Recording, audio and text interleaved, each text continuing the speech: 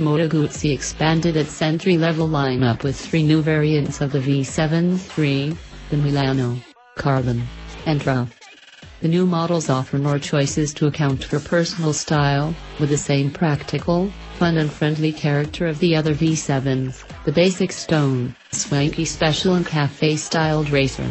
Think of the V7 line at Barbies, or G.I. Joes if you have inflexible gender roles, that you can use to dress up according to your mood.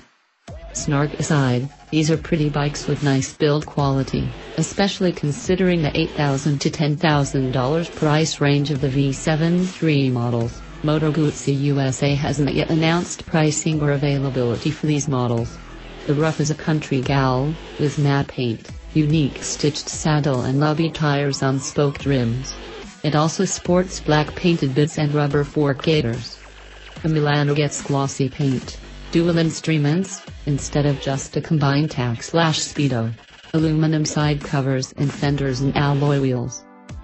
Rounding out the trio is the Carbon, a limited production, numbered 1921 will be built to commemorate the year of Guzzi's founding, model with carbon fiber fenders and side cover, matte black paint, red finished valve covers and brake caliper, billet aluminum gas cap and other little touches.